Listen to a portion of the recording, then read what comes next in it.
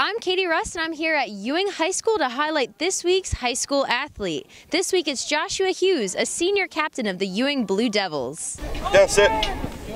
Go. Coming in at 6 foot 6 inches and 295 pounds, Joshua Hughes leads the team with 11 pancake blocks as the offensive tackle of the Ewing Blue Devils. They are currently 4 and 3 this season, winning their last game against West Windsor South in a stunning 35 6 victory.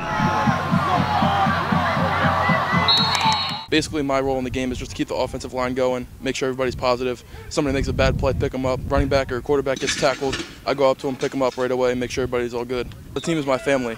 Uh, you know, we spend a lot of time with each other in the weight room all year round, uh, so they mean a lot to me. They're like family, like brothers.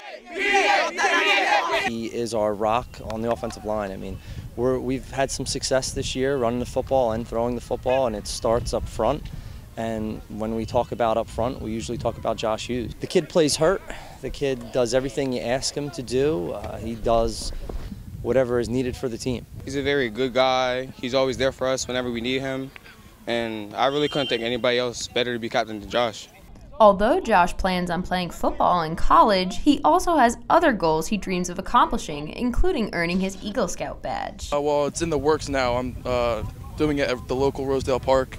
I'm putting bat boxes in because uh, uh, recent disease, you could call it, uh, affected them and killed thousands of them, so they need a new place to habitat. If I don't get a scholarship, my plan is to go into the Coast Guard and do a ROTC program and uh, I'm looking to go to college for some sort of forestry or uh, wildlife management. To be able to stand out is really important to me, and you know, but I'm not anybody special. I'm just me.